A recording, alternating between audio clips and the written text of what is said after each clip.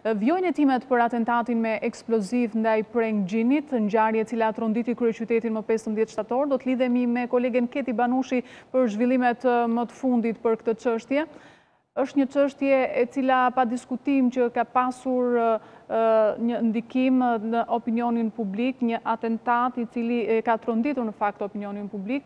Hetimet kanë vijuar përgjatë kësaj kohe dhe detajet do të na i përcjellë kolegja Keti Banushi. Keti të përshëndes.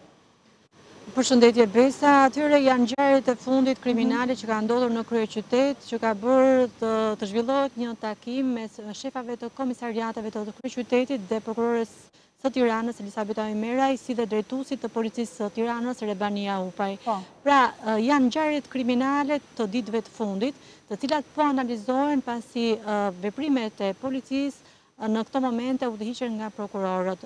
Ngjarja më e rëndë është shpërthimi tek Vasil Shanto dhe mosgjetja ende e një autori në lidhje me këtë shpërthim ose që t'i çojë të paktën hetuesit drejt një piste të qartë për hetimet ka bërë që të mblidhen dhe të diskutohet me grupin e punës të gjitha ngjarjet, por kjo dhe për shumë persona të kërkuar që ndodhen në kryeqytet, të cilat po po vijojnë të të krijojnë probleme si dhe ngjarje kriminale siç është dhe ngjarja e Astirit, ku personi 20 vjeçari i cili plagosi me armë komshiun e tij ishte një person në kërkim dhe fshihej në kryeqytet dhe gjithsesi këto ngjarje kanë bërë që drejtuesi i policisë së Tiranës, drejtuesja e prokurorisë së Tiranës, prokurorët si dhe oficerët e policisë gjyqësore të zhvillojnë një takim në ambientet e prokurorisë së Tiranës në lidhje me vijimësinë e hetimeve në lidhje me këto ngjarje për të vënë para përgjegjësisë dhe personat përgjegjës. Po, Keti dua të të pyes gjithashtu edhe për plotësimin e Gjykatës së Lartë në Këshillin e Lartë Gjyqësor janë duke u diskutuar vakancat. Si po ecën ky proces?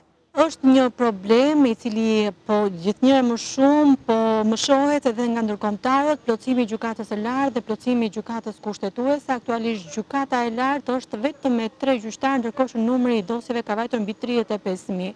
Këshilli i Lartë Gjyqësor sot është duke zhvilluar një mbledhje ku po si po filtron, si të thuash, mhm. tre kandidaturat që janë për tre vende në gjykatën e lartë, pra janë kryesisht, një është gjyqtar aktualisht në gjykatën e posaçme antikorrupsion, Klodian Kurushi, i cili dhe ky aspiron për një vend në në dhomën penale të Gjykatës së Lartë, ndërkohë që janë dhe tre gjyqtarë të tjerë, kryesisht Saida Dollani është njëra prej tyre dhe kjo në gjykatën gjyqtarë në gjykatën e apelit, të gjykatën e posaçme të apelit dhe dy gjyqtarë të tjerë që janë aktualisht që kandidojnë për vendet në gjykatën e lartë. Por mm -hmm. nga ana e Këshillit Lartë Gjyqësor do të shihen Nëse këta kandidatura i plotësojnë të gjitha kriteret, pra kriteret janë të ketë 15 vite punë dhe të ketë të ketë kaluar vetingun, pra nuk e di nëse do të bëhet ndonjë ndonjë lëvizje ose ndonjë të të